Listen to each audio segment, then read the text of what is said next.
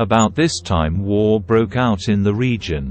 King Amraphel of Babylonia, King Arioch of Ellasar, King Kedorlaomer of Elam, and King Tidal of Goyim fought against King Bera of Sodom, King Birsha of Gomorrah, King Shinab of Admah, King Shemeber of Zeboim, and the king of Bela, also called Zoar.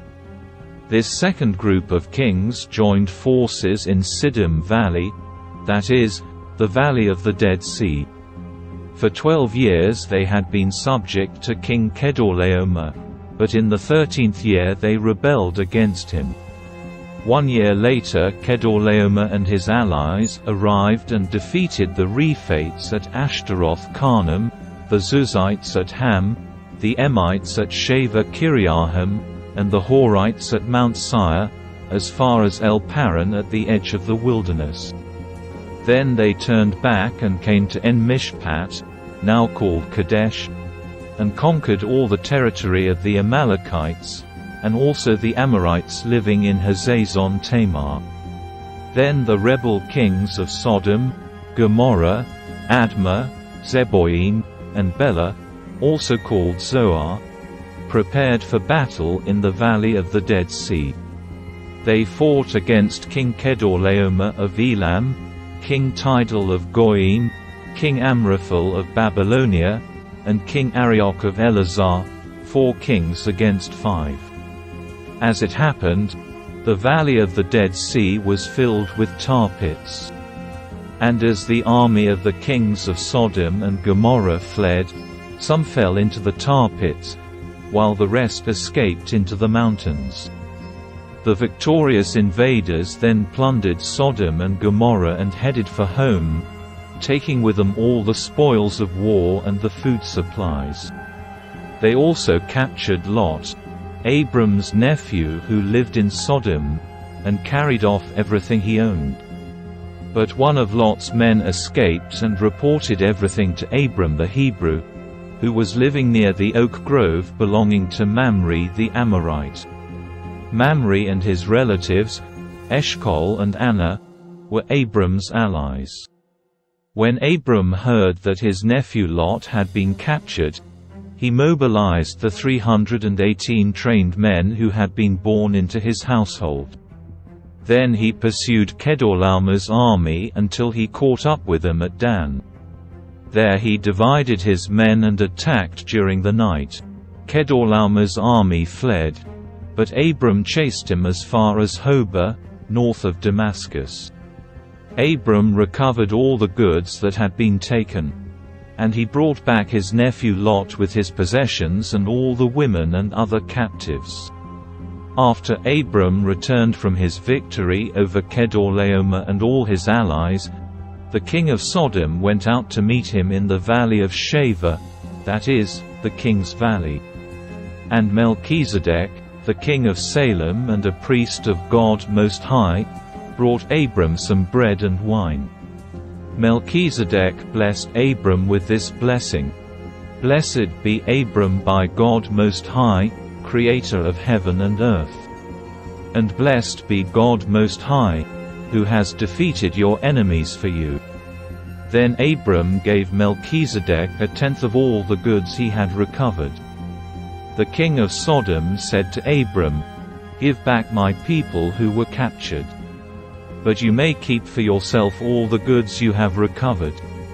Abram replied to the king of Sodom, I solemnly swear to the Lord, God Most High, Creator of heaven and earth, that I will not take so much as a single thread or sandal thong from what belongs to you.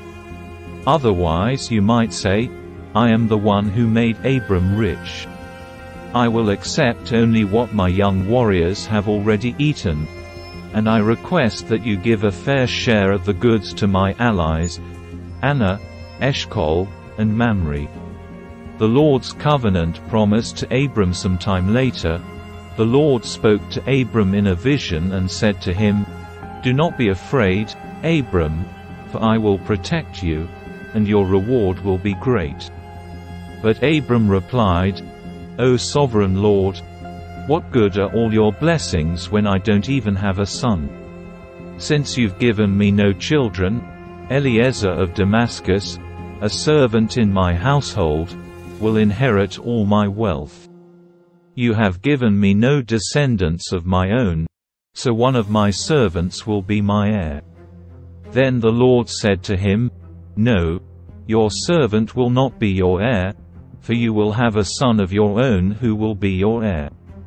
Then the Lord took Abram outside and said to him, Look up into the sky and count the stars if you can.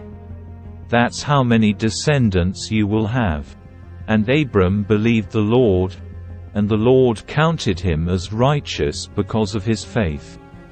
Then the Lord told him, I am the Lord who brought you out of Ur of the Chaldeans to give you this land as your possession. But Abram replied, O sovereign Lord, how can I be sure that I will actually possess it? The Lord told him, Bring me a three-year-old heifer, a three-year-old female goat, a three-year-old ram, a turtle dove, and a young pigeon. So Abram presented all these to him and killed them. Then he cut each animal down the middle and laid the halves side by side. He did not, however, cut the birds in half. Some vultures swooped down to eat the carcasses, but Abram chased him away. As the sun was going down, Abram fell into a deep sleep, and a terrifying darkness came down over him.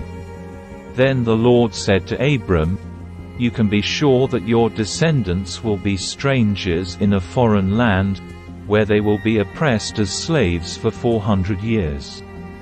But I will punish the nation that enslaves them, and in the end they will come away with great wealth. As for you, you will die in peace and be buried at a ripe old age. After four generations your descendants will return here to this land, for the sins of the Amorites do not yet warrant their destruction. After the sun went down and darkness fell, Abram saw a smoking firepot and a flaming torch pass between the halves of the carcasses. So the Lord made a covenant with Abram that day and said, I have given this land to your descendants, all the way from the border of Egypt to the great river Euphrates, the land now occupied by the Kenites, Kenizzites, Kadmonites, Hittites, Perizzites, Rephaites, Amorites, Canaanites, Girgashites, and Jebusites.